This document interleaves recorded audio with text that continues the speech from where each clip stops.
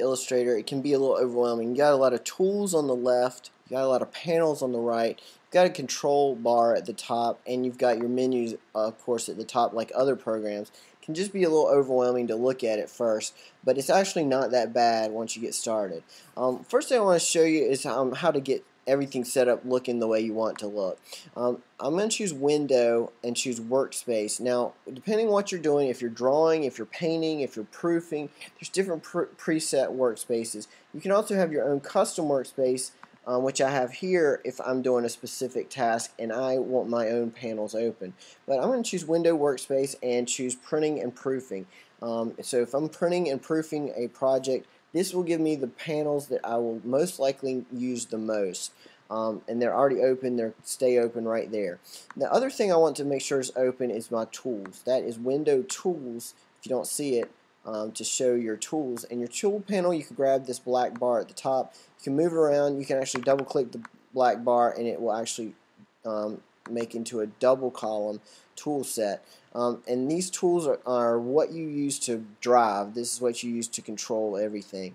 Um, the main two tools I would recommend starting with are the selection tool and the direct selection tool. Selection tools at the top. If you hover over those tools, you'll see that the shortcuts and the names come up. So if I hover over selection tool, you see the V says selection tool and in parentheses V that that means that the V, no matter what other tool I'm on, if I hit the V on my keyboard, it jumps to the selection tool. Next tool down is direct selection tool related to the regular selection tool. But the selection tool will allow you, once you start to have objects, you will be able to move objects around. You'll even be able to resize them. You'll be able to rotate them, and so on and so forth. Um, now, now your your setup might be a little different than mine. You might not be able to reset or resize your objects. If that's the case for you, um, you'll want to choose View and Show Bounding Box. You see, if I hide the bounding box, I'm not able to resize it like I was before. If you want to use that tool to resize your objects, you'll want to choose View Show Bounding Box. That's it right there. Um, I can I can resize objects, I can move them around, I can manipulate them right right there with that tool. Direct selection tool is a little different. If I click off of my object or choose select and deselect, I um, I can just select individual anchor points. Now it allows me to move my, my object around as well but you see when I hover over it it says anchor. Now if you don't see this these little green um, indicators that's another feature I have on and it's usually on from the start that is view smart guides. Sometimes they get annoying so I'll turn them off but Smart Guides, the shortcut key is Command U or Control U on a PC.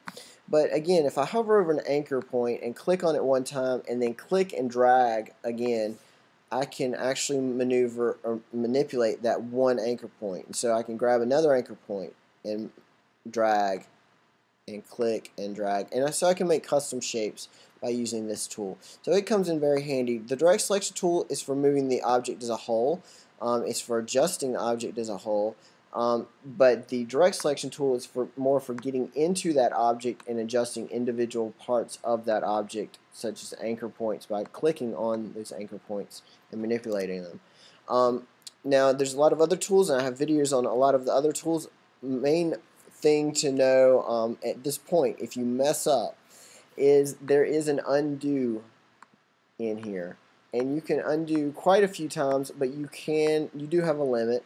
Um, you see that the shortcut key is command Z on a Mac or control Z on a PC so I often times have my hand on control Z and I can undo many many times um, if I wish to do that.